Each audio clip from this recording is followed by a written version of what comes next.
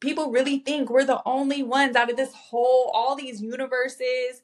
There's no way that we're the only ones. Like, that's so self centered of us to think that.